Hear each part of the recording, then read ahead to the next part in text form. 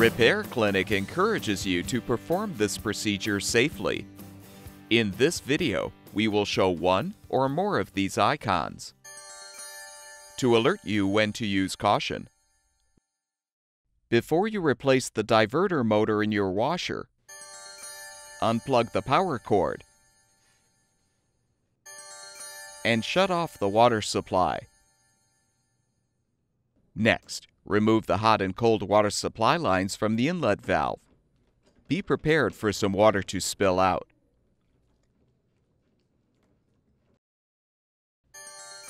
Carefully tip the washer back so it rests on the rear panel.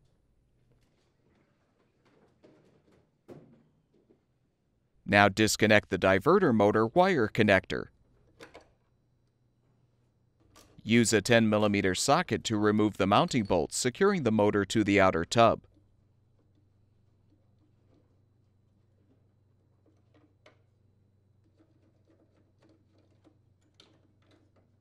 Detach the old motor from the actuator arm.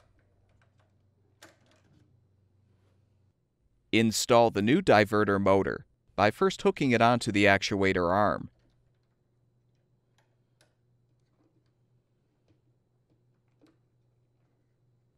Align the motor on the outer tub and replace the mounting bolts to secure. Connect the wire connector to the new motor. Return the washer to its upright position. Reattach the hot and cold water supply lines to the inlet valve.